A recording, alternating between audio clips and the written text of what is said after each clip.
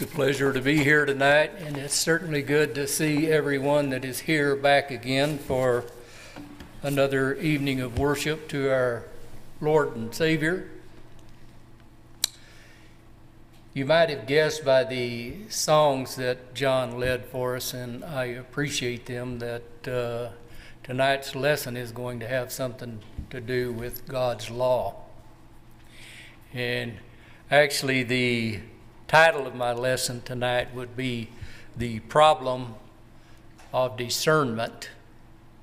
And if you will turn with me to Hebrews, Hebrews, the fifth chapter.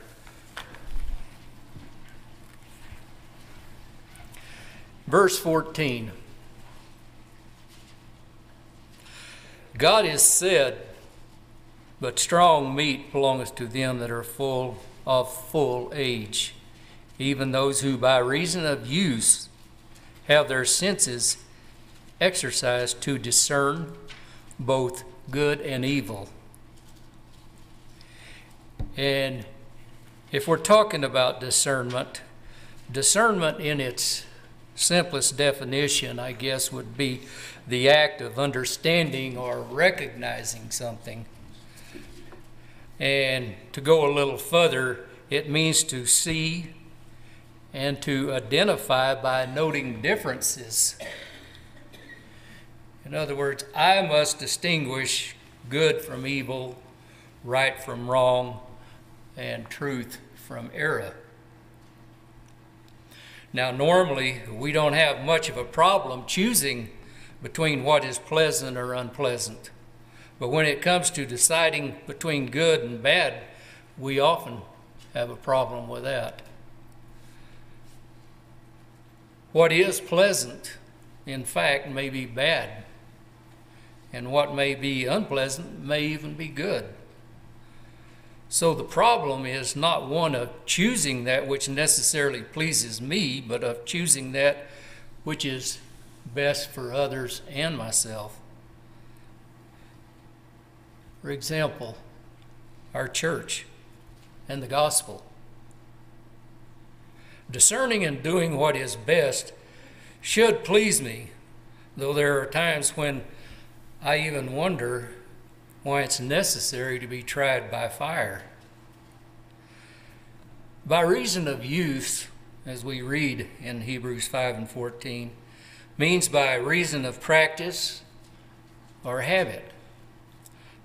Long practice with right standards enables the Christian to effect the right discernment. The Christian's mental faculties exercised at first on the simple truths become a practice or habit, which increases their power later to apprehend the higher and more secret or the hidden unknown ones. And we can see from the writer of Hebrews where the Hebrew Christians had failed to bring out their faculties, which increased with practice.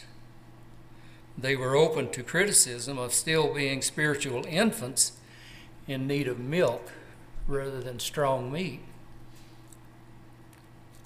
For the good of my soul, I need to develop the habit of weighing matters. An ounce of prevention is worth a pound of cure. Much trouble can be prevented by farsighted discernment. So I propose a question to you. If you obey the laws of the land and always discern to live your life within those laws, is that enough? We should talk about that. Over in Job 32 and verse 9, we see where great men have blundered because of faulty discernment. Some men and women have been great in spite of their mistakes, but to the extent they faltered in discernment, they decreased their greatness. So let's talk a little bit about good and evil itself. A lot of people are against any attempt to classify good and evil as is taught in Hebrews 5 and 14. To them, nearly all moral practices are good and almost all religious teachings are right. To them, the right or wrong of an act or teaching is not in the deed or precept, but it's rather in the mind of the participant or the instructor. And so, what may be right for one may be wrong for another, and vice versa. According to some of these same people, every person is a God unto themselves. Now, if that were true, no man could ever choose evil provided he thought he was choosing good. And no way which seems right could ever be wrong.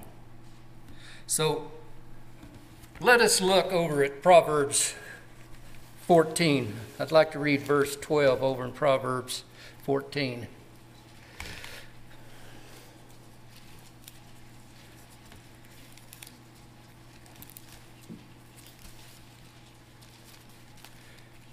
It's right here in my Bible somewhere. It's always hard to find when you need to. Proverbs 14 and 12, what does it tell us? It says, There is a way which seems seemeth right unto a man, but the end thereof are the ways of death. Now, if I jump over to Job or Proverbs the 16th chapter and read verse 25, what does it say? Again, it says, There is a way that seemeth right unto a man, but the end thereof are the ways of death. Some ways are good and some are bad. We need to know that the bad way has its penalty in spite of how inviting it may look to us.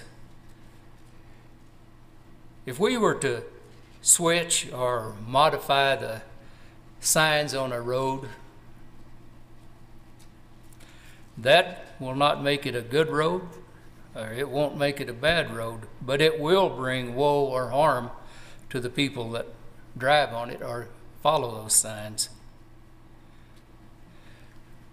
So in Isaiah 5 and 20, we read where God says, Woe unto them that call evil good, and good evil, that put darkness for light, and light for darkness, that put bitter for sweet and sweet for bitter. So the right or wrong of a thing is not just a matter of personal thinking. Since truth and right are facts rather than abstractions, then I must change my mind to fit truth and right rather than changing them to fit my mind. Perhaps the greatest sin of the age is mankind's futile attempt to change the right to fit himself rather than to change himself to fit right. Amen. The Bible freely speaks of good and evil. And I think we all know that. There are so many verses and there are so many uh, texts that we can read in regards to this. And I have listed here several examples of good and evil. And I'm going to look at the first couple of them with you and turn to verses. And those that I mention later on, I'm going to give you the verses that you may want to check into later on. Now, if we're talking about good and evil, then obviously there are good men and there are evil men. If we look at a good man, I can turn to Psalms 37 and 23 and give you an example.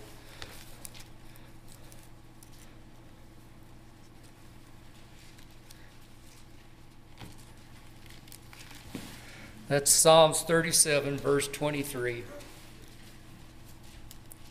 The steps of a good man are ordered by the Lord, and he delighteth in his way. Now, the evil man, let's turn to Psalms 140 and verse 1. That's Psalms 140, verse 1. We read, Deliver me, O Lord, from the evil man. Preserve me from the violent man. Now, as I was saying, I have several examples here good works or evil works. Good works we can find in Matthew 5 and 16. Evil works you can turn to James 3 and 16. The good path, Proverbs 2 and 9. Evil course, Jeremiah 23 and 10. Good advice, again, Proverbs 20 and 18. Evil counsel, Isaiah 7 and 5. Good name, Proverbs 22 and 1. An evil name, Deuteronomy 22 and 19. Good fruit, Matthew 7 and 17. Evil fruit, Matthew 7 and 18. And I could go on and on with these. As I say, most of you are familiar with these terms and you have read these verses before. I'm sure that many of you have. But let me give you now some biblical examples of failures in discernment. In 1 Kings, the 13th chapter, now we studied this here not too long ago. But remember the young prophet that was deceived by a lie? He was one of the finest specimens of humanity. He's even called a man of God. He had courage, and he even cried out against King Jeroboam's idolatry at Bethel, not fearing for his own life. But God had commanded him to neither eat nor drink nor return by the same way, as you see there in verse 9. Now he obeyed to a point, and this young prophet could not be taken in by flattery. He even refused an invitation to be the guest of the king. Obedience to God meant more to him than royal honors. However, an old prophet turned his mind. And how did this happen? The old prophet followed after him and told the young prophet that an angel had said, Oh, bring him back with thee into thine house, that he may eat bread and drink water, as you see there in verse 18. The old prophet lied to him, and it cost the young prophet his life. His downfall is wrapped up in one statement he failed in discernment. He believed a lie. And in verse 19, we see where he went back. If we choose to serve God, we must obey his commandments. And let me add that we should add nothing to his commandments or take nothing away from his commandments. Turn with me to Galatians, the first chapter, beginning in verse 6. Paul is telling the Galatians here, I marvel that you are so soon removed from him that called you into the grace of Christ unto another gospel, which is not another, but there be some that trouble you and would pervert the gospel of Christ. But though we or an angel from heaven preach any other gospel unto you than that which we have preached unto you, let him be accursed. As we said before, so say I now again if any man preach any other gospel unto you than that you have received, let him be accursed. For do I now persuade men or God? So do I seek to please men? For if I yet please men, I should not be the servant of Christ.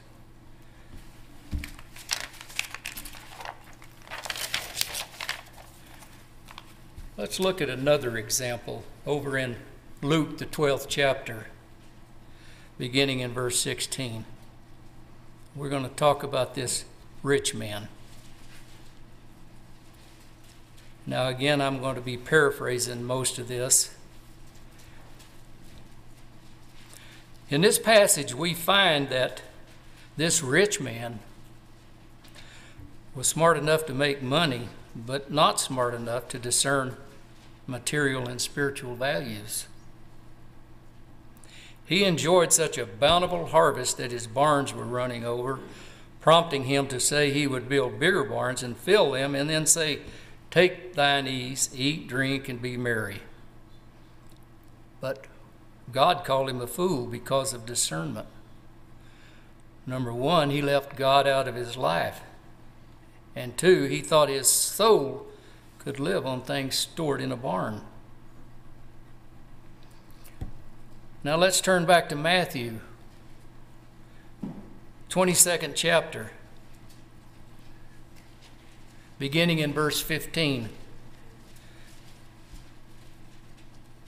You can see here where the Pharisees were trying to trick or to trap Jesus. They couldn't comprehend two loyalties, earthly and heavenly. They thought that Jesus couldn't either. So away they go to him with their entangling question Is it lawful to give tribute unto Caesar or not? And Jesus answered them Render therefore unto Caesar the things which are Caesar's, and unto God the things that are God's. Well, he confused him. Let's turn to the book of Luke, 10th chapter, beginning in verse 38. Let's talk about Martha and Mary. Now, Martha had to choose between two important things to prepare a meal or to listen to Jesus. Now, Martha chose the less important activity, but her sister Mary sat at Jesus' feet and heard his word. Then Jesus kindly talked to them about which one had the finer perception and the greater power of discernment. Jesus said, Martha, Martha, Thou art careful and troubled about many things, but one thing is needful. And Mary hath chosen that good part which will not be taken away from her. Now let's turn to the book of John, chapter 8, beginning verse 3. Again, we're going to read about the scribes and Pharisees here. Here we can see where the scribes and Pharisees that were seeking to stone a woman brought her to Jesus. Now, here are self righteous, ever ready condemners of other accusing this woman of adultery. And they are strutting in their piety, claiming to be sticklers for the law of Moses. They remind Jesus that the law of Moses demand that she should be stoned and pressed him for the verdict in this case. All the time trying to find some wrong with Jesus. But Jesus answered them, He that is without sin among you, cast the first stone. It was then that they all suddenly had something else to do. They made mistakes in this manner and they erred in their discernment. Number one, they didn't bring the man with them. Number two, they made a spectacle by setting her in the midst of the crowd. And three, they didn't even care who they hurt, just so they could make their point. And number four, they beheld the sin in another's life, failing to see any in their own. And also, they point to sin in another in an effort to feel bigger, cleaner, and to whitewash themselves. Now, Jesus understood this matter properly by showing less concern for the woman's past than for her future, and he said to her, Neither do I condemn thee. Go and sin no more. And again, there are so many examples that we could cover, but no matter what decision we make at any time about anything regarding God's law, remember that God's law is right. It's always right. It has been right from the creation of man and way before that.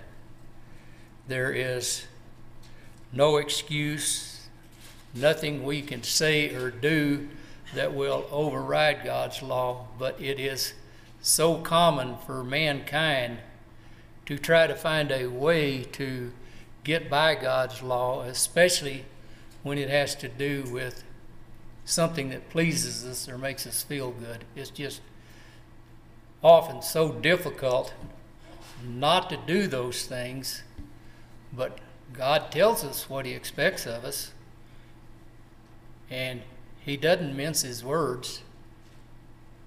Anyone can read the Bible, and if they really, really care about doing right, they're going to find that there's no other way to be right. How many times have any of us, or all of us, shunned God's Word to do something that made us feel better?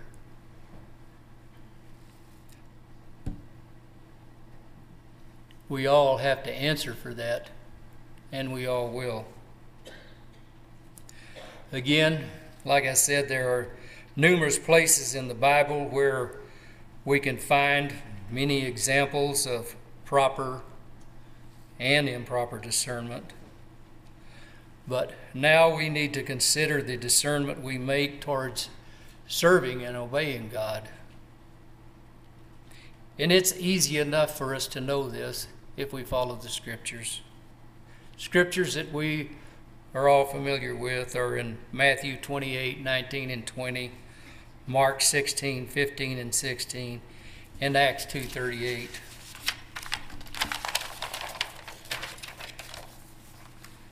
In Matthew, the 28th chapter, in verses 19 and 20, we see where Jesus tells his disciples, Go therefore and make disciples of all nations, baptizing them in the name of the Father, and the Son, and the Holy Spirit, teaching them to observe all that I have commanded you. And in, again, Mark 16, verses 15 and 16, Jesus says to them, Go into all the world and preach the gospel to all creation. He who has believed and has been baptized shall be saved, but he who has disbelieved shall be condemned. And Peter said to them in Acts 2:38, he said to this large crowd of people at the day of Pentecost, after they realized that they had put Jesus Christ, the living Son of God, to death on the cross. And they were pricked in their hearts. So Peter said to them, Repent and let each of you be baptized in the name of Jesus Christ for the forgiveness of your sins, and you shall receive the gift of the Holy Spirit. Again, let us all consider who we are most of us here have already accepted Jesus Christ as their Savior. I don't know, there may be one or two in here that have not. But there is no other way to the gates of heaven if we don't go through Jesus Christ. There's no way that we can have a relationship with God the Father without the love and support of Jesus Christ. Anyway, if there's anyone here tonight that is subject to God's invitation in any way, whether it be accepting Jesus Christ as your Savior or whether it be bringing forth your sin and letting people know that you have done wrong in the sight of God and you wish to improve, let us know as we stand and sing.